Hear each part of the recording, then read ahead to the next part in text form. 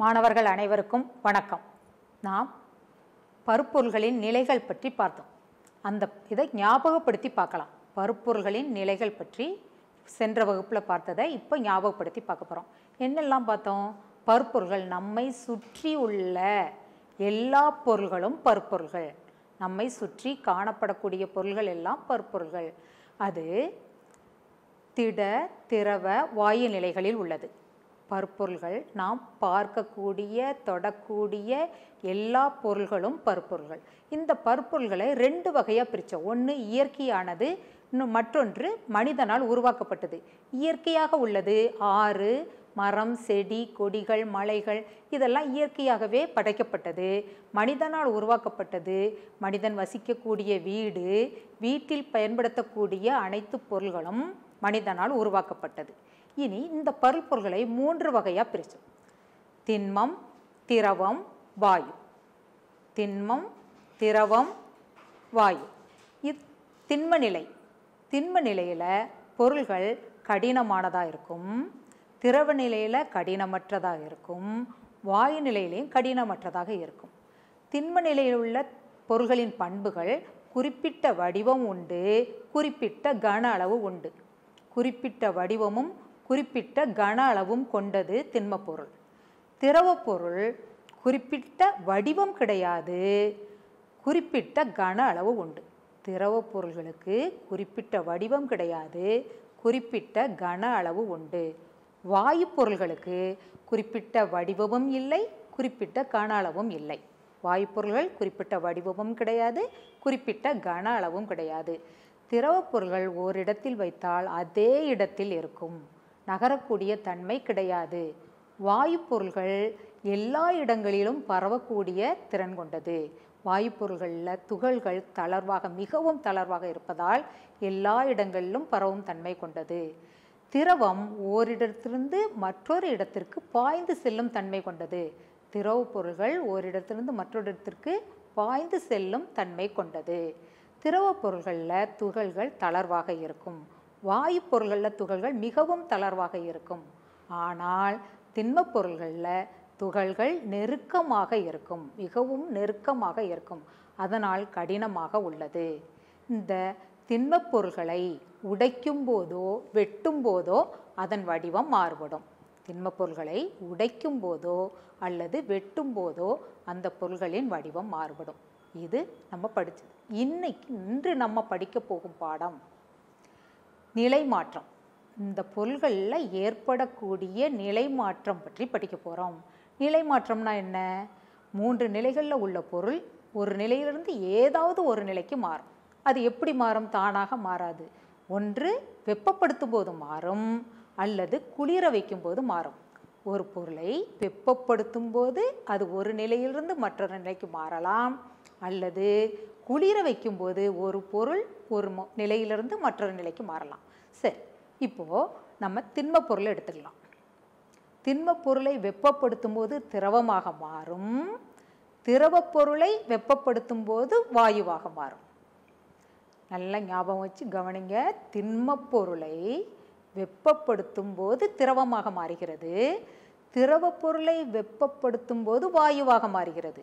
இதே இது வாயு பொருளை குளிர வைக்கும்போது அது திரவமாக மாறுகிறது. திரவத்தை குளிர வைத்தால் திண்மமாக மாறுகிறது. இனி நம்ம அதுக்கு என்னென்ன உதாரணத்தோட நம்ம படிப்போம். அப்போ ஞாபகத்தில் நிற்கும் சரி முதல்ல உருகுதல். உருகுதல்னா என்ன? திண்மப் பொருளை வெப்பப்படுத்தும் போது அது உருகி திரவமாக மாறுகிறது. திண்மப் பொருளை வெப்பப்படுத்தும் போது உருகி திரவமாக மாறுவது உருகுதல். இது பார்த்துருக்கீங்களா? இது என்ன பொருள்? என்னது? பனிக்கட்டி. இது பனிக்கட்டி. இது திண்ம நிலையில் இருக்குது. இப்போது இதை நம்ம சூடுபடுத்த போகிறோம் பனிக்கட்டியை சூடுபடுத்தும் போது அது திரவமாக மாறுகிறது. பனிக்கட்டியை சூடுபடுத்தினால் அது திரவமாக மாறுகிறது. திண்மப் பொருளை வெப்பப்படுத்தும் போது திரவமாக மாறும். திண்ம பொருளுக்கு நம்ம எந்த பொருள் எடுத்தோம்? பனிக்கட்டி. பனிக்கட்டி திண்ம பொருள். அதை வெப்பப்படுத்தும் போது அது எப்படி மாறியது? திரவமாக மாறியது. இந்த நிகழ்ச்சிக்கு பேர் உருகுதல். இப்போ படத்தை பாருங்க. திண்ம பொருளை வெப்பப்படுத்தும் போது திரவமாக மாறும் செயல் உருகுதல். அப்பனிக்கட்டி உருகுனா மட்டும் இல்லை நம்ம வெளியே எடுத்தாலே ஒரு டப்பாலேருந்து வெளியே எடுத்தாலே அது கொஞ்ச நேரத்தில் வெளியே உள்ள வெப்பத்திற்கே உருகிரும். நீ உங்கள் அப்பா வந்து உனக்கு ஐஸ்கிரீம் வாங்கி தராங்க. ஐஸும் வாங்கி தராங்க. நீ ரெண்டு பொருளையும் கொண்டு வந்திருக்கிற. அதை கொண்டு வந்து வீட்டில் வச்சு சாப்பிடலான்னு நினைக்கிட்டும் போது உன்னுடைய நண்பன் வந்து உன்னை கூப்பிட்றான். நீ வெளியே தம்ளரில் கொண்டு ஐஸு வச்சுட்டு வெளியே விளையாட போயிட்ட. கொஞ்ச நேரம் கழித்து திரும்ப வந்து பார்க்கும்போது ஐஸ் இருக்குமா? நீர் இருக்குமா? ஐஸ் வந்து என்ன ஆகிறது கொஞ்ச நேரத்தில்? உருகிருது. நான் அது சூடுபடுத்தலை. ஆனாலும் வெப்பம் வெளியே இருக்கக்கூடிய வெப்பத்திற்கு அது உருகி திரவமாக மாறுகிறது. திண்மப்பொருள் வெப்பத்தால் உருகி திரவமாக மாறும் செயல் உருகுதல். புரிஞ்சுதா? இனி அடுத்தது ஆவியாதல். திரவ நிலையில் உள்ள பொருளை வெப்பப்படுத்தும் போது ஆவியாக மாறுகிறது வாயுவாக மாறுகிறது. திரவ பொருளை வெப்பப்படுத்தும் போது வாயுவாக மாறும் செயல் ஆவியாதல். திரவ பொருளுக்கு நீர் எடுத்துக்கணும். நீர் எடுத்து நம்ம அதை வெப்பப்படுத்துகிறோம் வெப்பப்படுத்தும் போது அதிலிருந்து நீராவி வெளிவருகிறது. திரவ பொருளை வெப்பப்படுத்தும் போது ஆவியாக மாறும். பாருங்க இப்போது திரவப்பொருள் நீர் தான் சூடாக்கி வச்சுருக்குது. இதிலிருந்து ஆவி வெளியே வருது பாருங்கள் அப்போ திரவப்பொருளை வெப்பப்படுத்தினால் அது வாயுவாக மாறும். திரவப்பொருள் வெப் வெப்பப்படுத்தும் போது அது ஆவியாகும். பாருங்கள் இதில் ஏற்கனவே வெப்பப்படுத்தி அதில் வெண்ணி ஊற்றி வச்சுருக்கோம். தண்ணியை சூடாக்கி வெப்பப்படுத்தி ஊற்றி வச்சுருக்கோம். அதிலிருந்து எது வெளியே வருது பாருங்கள் நீராவி வெளிவருகிறது. அப்போ திரவ பொருளை வெப்பப்படுத்தும் போது அது இதாக மாறுது? வாயுவாக மாறுகிறது. இந்த செயல் என்னது? ஆவியாதல். திரவ பொருளை வெப்பப்படுத்தும் போது அது வாயுவாக மாறுகிறது. இந்த செயல் ஆவியாதல். உருகுதல்னா என்ன?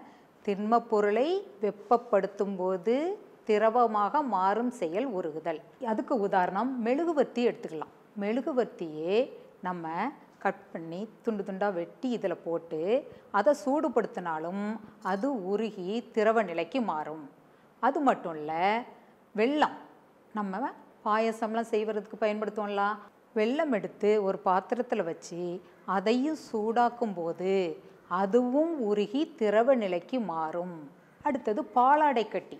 பாலாடை கட்டியும் எடுத்து நம்ம வெப்பப்படுத்தும் போது அதுவும் திரவ நிலைக்கு மாறும். அப்போ திரவ நிலைக்கு மாறக்கூடிய பொருள்கள் எதெல்லாம்? இரண்டு சொல்லு அப்படின்னு கேட்டால் சொல்ல தெரியணும். இனி குளிர வைக்கும்போது என்ன மாறும்?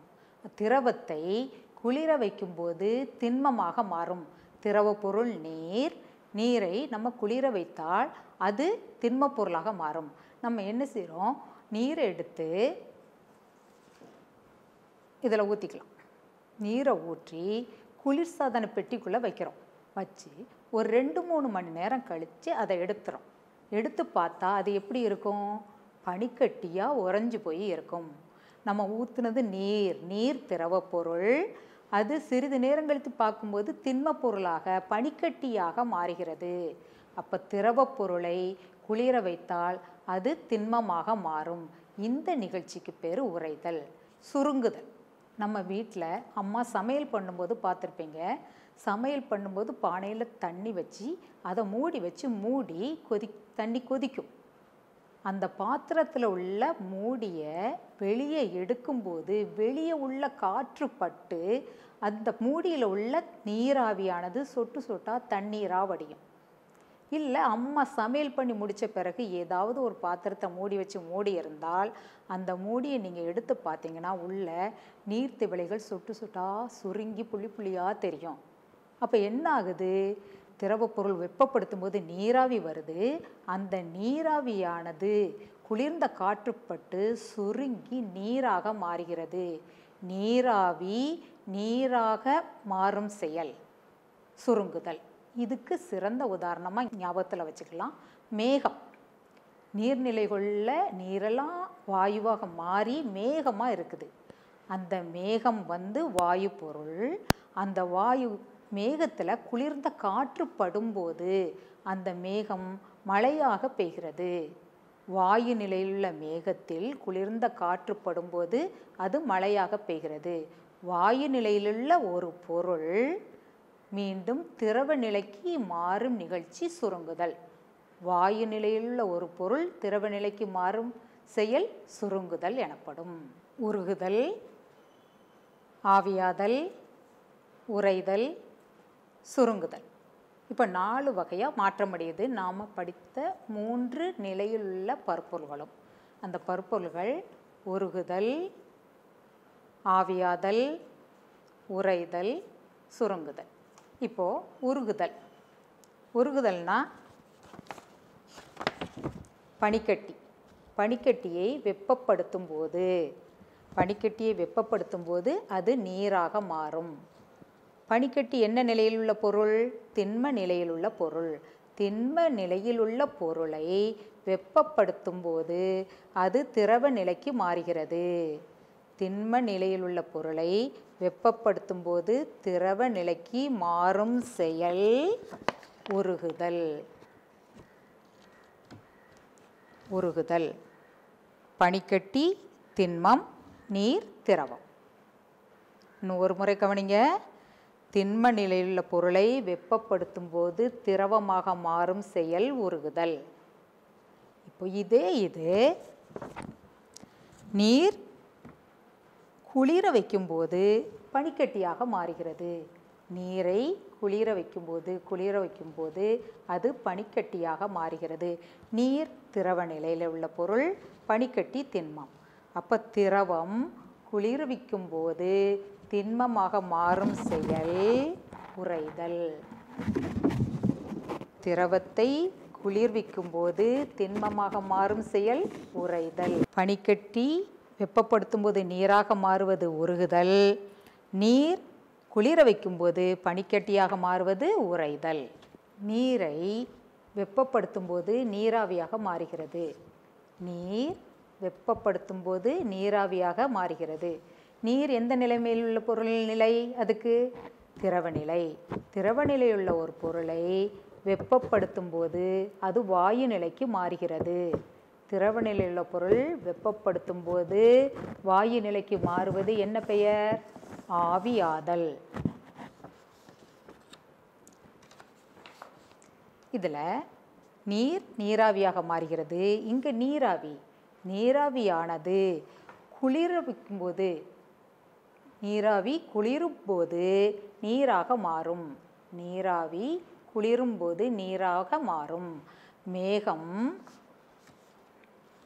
குளிரும்போது மழையாக பெய்யும். நீராவி எது வாயு நிலையுள்ள பொருள். அது நீராக திரவ நிலைக்கு மாறுகிறது. நீராவி குளிர்ந்து நீராக மாறும் செயல் சுருங்குதல். நீராவி குளிர்ந்து நீராக மாறும் செயல் சுருங்குதல்.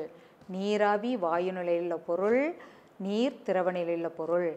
வாயு நிலையுள்ள ஒரு பொருள் திரவ நிலைக்கு மாறுவது. குளிரப்படுத்தும் போது திரவ நிலைக்கு மாறுவது சுருங்குதல். நம்ம இப்போ படித்ததை கொஞ்சம் ஞாபகப்படுத்தி பார்ப்போம். பனிக்கட்டி. பனிக்கட்டியை வெப்பப்படுத்தும் போது அது எந்த நிலைக்கு மாறும்? பனிக்கட்டியை வெப்பப்படுத்தினால் அது எதுவாக மாறும்? நீராக மாறும். இந்த நிகழ்ச்சிக்கு என்ன பெயர்? பனிக்கட்டி உருகி நீராக மாறுகிறது. அப்போ என்ன பெயர்? உருகுதல். அடுத்தது இப்போது திரும்ப என்ன செய்தோம்? நீர் எடுத்துக்கிறோம். நீர் எடுத்து அதை வெப்பப்படுத்துகிறோம் நீர் திரவ நிலையுள்ள பொருள் அதை வெப்பப்படுத்தும் போது அது என்னவா மாறும்? நீர் நீராவியாக மாறும். நீர் நீராவியாக மாறக்கூடியது என்ன செயல் ஆவியாதல். நீர் நீராவியாக மாறக்கூடியது ஆவியாதல். நீர் என்ன நிலையில் உள்ள பொருள்? திரவ நிலையில் பொருள். அது நீராவியாக மாறுவது வாயு நிலைக்கு மாறுகிறது. இது ஆவியாதல். அடுத்தது வாயு நிலையில் உள்ள பொருள் மேகம்.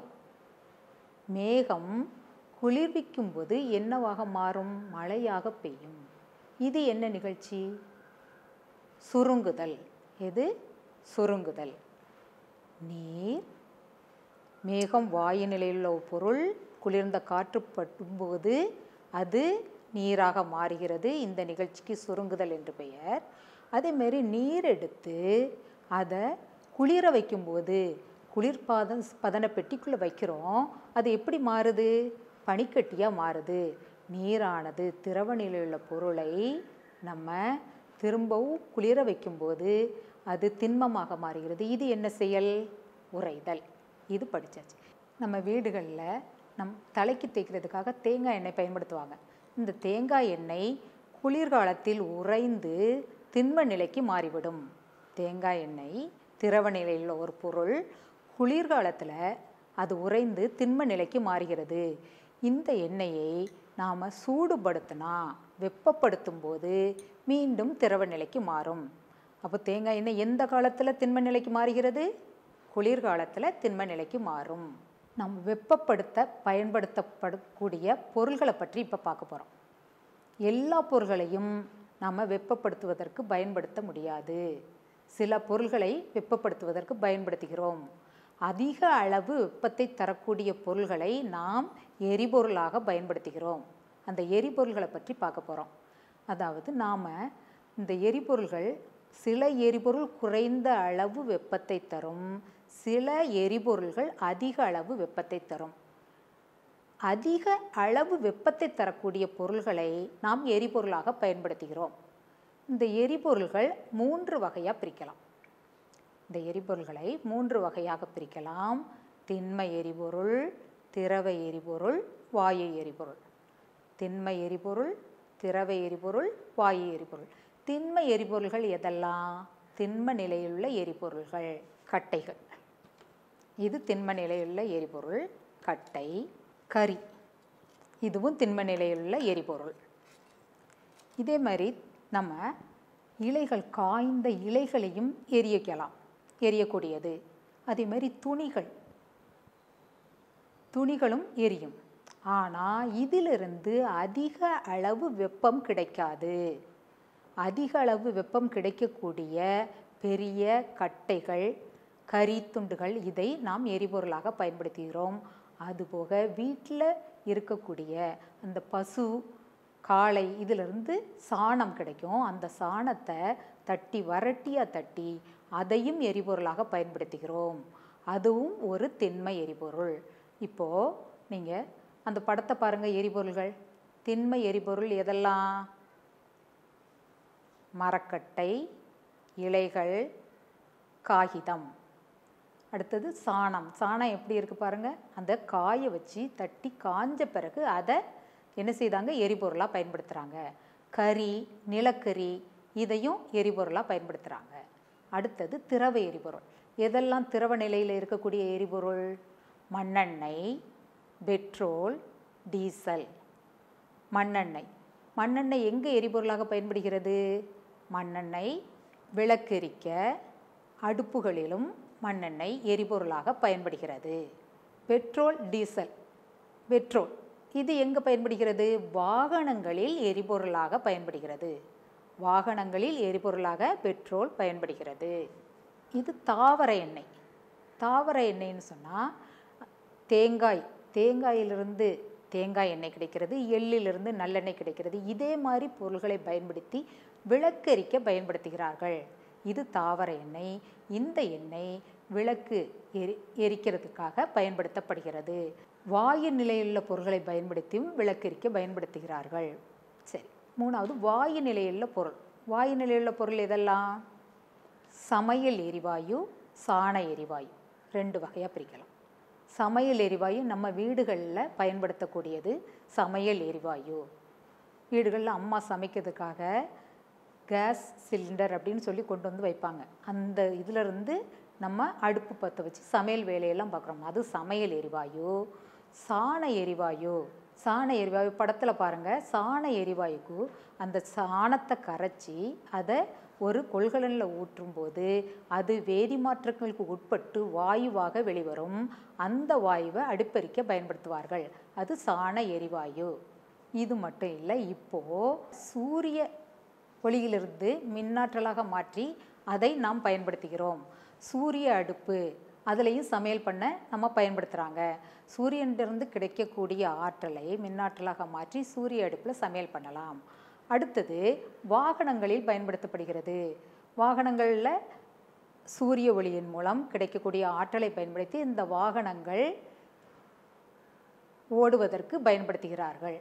தோட்டங்கள் வயல்வெளிகளில் நீர் பாய்ச்சுவதற்கும் இந்த சூரிய ஆற்றல் பயன்படுகிறது.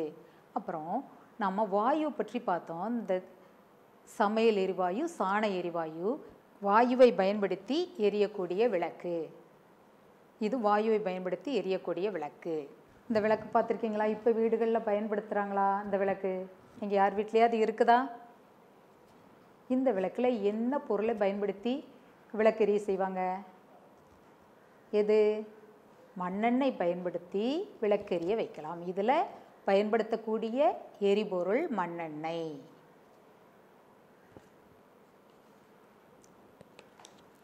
இப்போ இந்த விளக்கு பார்த்துருக்கீங்களா? இது இப்போ பயன்படுத்துகிறாங்க சில இடங்களில். இதில் பயன்படக்கூடியது எது? எரிவாயு. எது? இதில் பயன்படுத்தக்கூடியது எரிபொருள் வாயு எரிபொருள். இதை நம்ம ஆங்கிலத்தில் கேஸ் லைட் அப்படின்னு சொல்லலாம். இதில் பயன்படுத்தக்கூடியது வாயு எரிபொருள். இதில் பயன்படுத்தக்கூடியது திரவ எரிபொருள். வீடுகளில் பார்த்துருக்கீங்களா இது?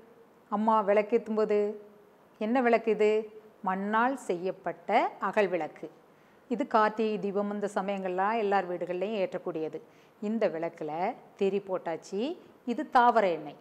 இந்த எண்ணெயை ஊற்றுறோம் ஊற்றியாச்சு இப்போது நம்ம விளக்கேற்றி பார்க்கலாம்.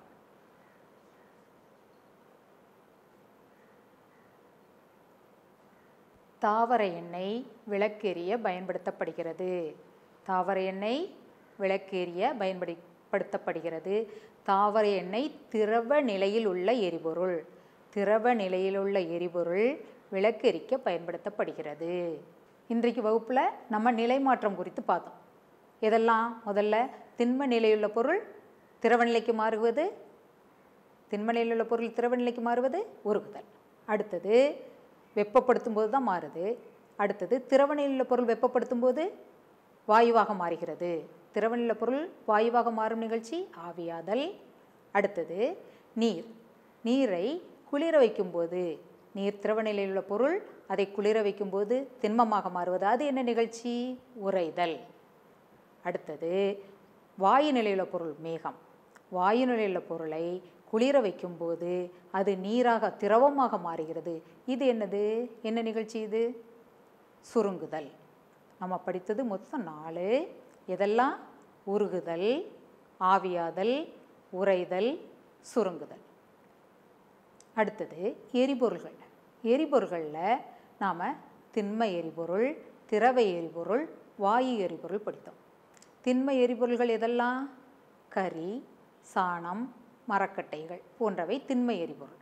திரவ எரிபொருள் மண்ணெண்ணெய் தாவர எண்ணெய் பெட்ரோல் டீசல் இதெல்லாம் திரவ எரிபொருள்.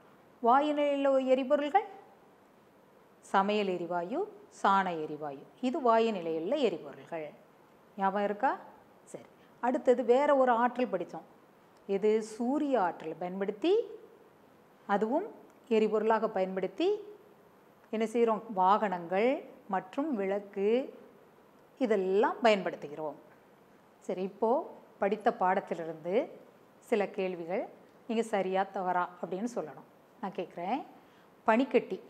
பனிக்கட்டியை சூடாக்கும் போது அது உருகும். சரியா தவறா? பனிக்கட்டியை சூடாக்கும் போது அது என்ன செய்யும்? வெப்பநிலையில் உருக தான் செய்யும். வெளியே உள்ள வெப்பநிலையில் உருகும். சரி. நிலக்கரி ஒரு திரவ பொருள். திரவ எரிபொருள் நிலக்கரி ஒரு திரவ எரிபொருள். சரியா தவறா? நிலக்கரி ஒரு திண்ம எரிபொருள். தவறு இது. திரவ எரிபொருள்னு கொடுத்துருக்கு தவறு. துணி எரியாது. துணி எரியுமா எரியாதா? துணி எரியும். இதுவும் தவறு. அடுத்தது நீங்கள் அது பொருத்தி கரெக்டான சரியான பதிலை சொல்லணும். எதுக்கு எது வரும் அப்படிங்கிறத கொஞ்சம் கவனித்து பார்த்து எது சரி அப்படிங்கிறத சொல்லணும். திரவ எரிபொருள். எது திரவ எரிபொருள்? மண்ணெண்ணெய் திரவ எரிபொருள். திண்ம எரிபொருள் சொல்லுங்கள் எது? திண்ம நிலையுள்ள எரிபொருள். எது? கரி. வாயு நிலையுள்ள எரிபொருள் என்ன சொல்லுங்கள் சாண எரிவாயு. இது வாயு நிலையுள்ள எரிபொருள். சரி அடுத்தது பார்ப்போம். வாகனங்களில் பயன்படுத்தக்கூடிய எரிபொருள் ஏதாவது ஒன்று சொல்லுங்கள் பார்ப்போம் வீடுகளில் பயன்படுத்தக்கூடிய வாகனங்கள் இரு சக்கர மூன்று சக்கர வாகனங்களில் பயன்படுத்தக்கூடிய ஏதாவது ஒரு எரிபொருள்? சொல்லுங்கள் பெட்ரோல் டீசல். ஆ சரி. அடுத்தது விளக்கு எரிய என்ன எண்ணெய் பயன்படுத்தப்படும்? விளக்கு எரியது. என்ன எண்ணெய் பயன்படுத்துவாங்க? தாவர எண்ணெய். வாயுவை குளிர்விக்கும் போது அது என்ன நிலைக்கு மாறும்? எதா மாறும்? வாயுவை குளிர வைத்தால்? வாயு நிலையுள்ள பொருளை குளிர வைத்தால் அது திரவமாக மாறும். சரி இப்போது படித்த பாடத்திலிருந்து சில கேள்விகள் நீங்கள் சரியா தவறா அப்படின்னு சொல்லணும். நான் கேட்குறேன். பனிக்கட்டி. பனிக்கட்டியை சூடாக்கும் போது அது உருகும். சரியா தவறா? பனிக்கட்டியை சூடாக்கும் போது அது என்ன செய்யும்? வெப்பநிலையில் ஊறுக தான் செய்யும். வெளியே உள்ள வெப்பநிலையில் ஊறுகும். சரி. நிலக்கரி ஒரு திரவ பொருள். திரவ எரிபொருள். நிலக்கரி ஒரு திரவ எரிபொருள். சரியா தவறா? நிலக்கரி ஒரு திண்ம எரிபொருள். தவறு இது. திரவ எரிபொருள்னு கொடுத்துருக்கு தவறு. துணி எரியாது. துணி எரியுமா? எரியாதா? துணி எரியும். இதுவும் தவறு. அடுத்தது நீங்கள் அது பொருத்தி கரெக்டான சரியான பதிலை சொல்லணும். திரவ எரிபொருள். எது திரவ எரிபொருள்? மண்ணெண்ணெய் திரவ எரிபொருள். திண்ம எரிபொருள் சொல்லுங்கள் எது? திண்ம நிலையுள்ள எரிபொருள். எது? கரி. வாயு நிலையில் எரிபொருள் என்ன சொல்லுங்கள் சாண எரிவாயு இது வாயுநிலையில் எரிபொருள். சரி அடுத்தது பார்ப்போம்.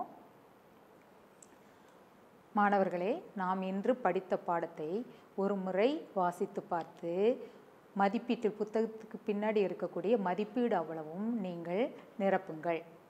இது வரைக்கும் படித்தது நல்லா புரிஞ்சிருக்கும். நீங்கள் நிரப்பி படித்து பாருங்கள் சரி நன்றி வணக்கம்.